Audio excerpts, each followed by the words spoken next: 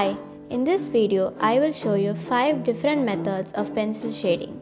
For all the 5 methods, I have used only a 6B shading pencil. I'll be demonstrating the different types by shading inside a box. The first method is single direction pencil shading, which is one of the easiest and fastest methods to shade using pencils. You can either go from light to dark or from dark to light.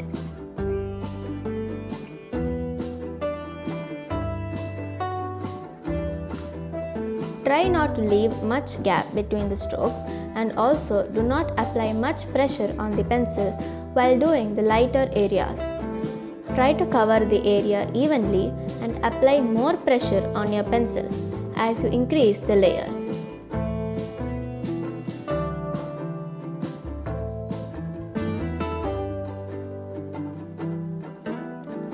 Finally, blend all the layers with light and fast strokes of the pencil to make it look neat.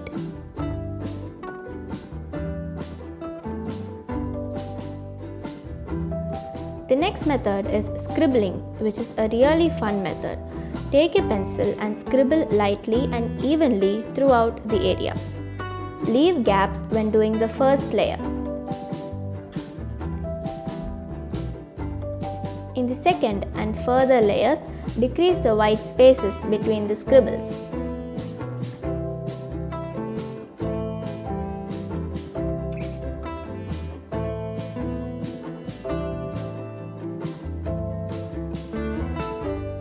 The last layer, leave no gaps at all to show the difference.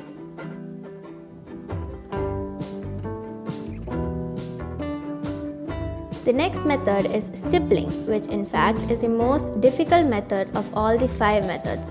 You need to keep your pencil tip really sharp for this one.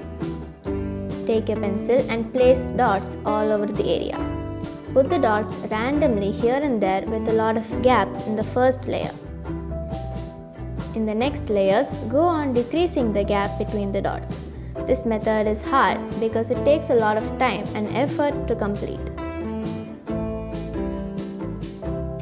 You can also make the dots bigger to cover up space in the final layers. This method is even more beautiful and easier when done using a pen.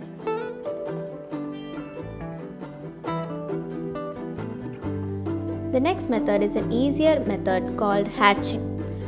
Apply short thin strokes using the pencil and try to leave some small spaces between the strokes. Decrease the spacing between the lines and apply more pressure on the pencil when proceeding to the further layers. In the last layer, leave no gaps at all and fill the whole area with maximum pressure on the pencil.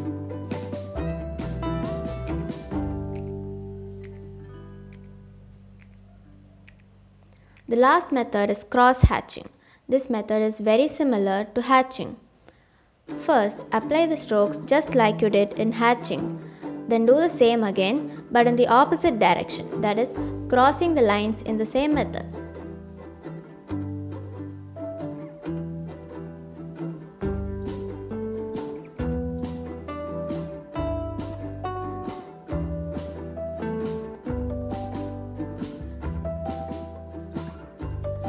These are the five methods single direction, scribbling, stippling, hatching,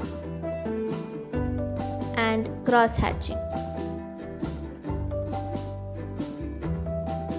Thank you for watching and please subscribe to my channel.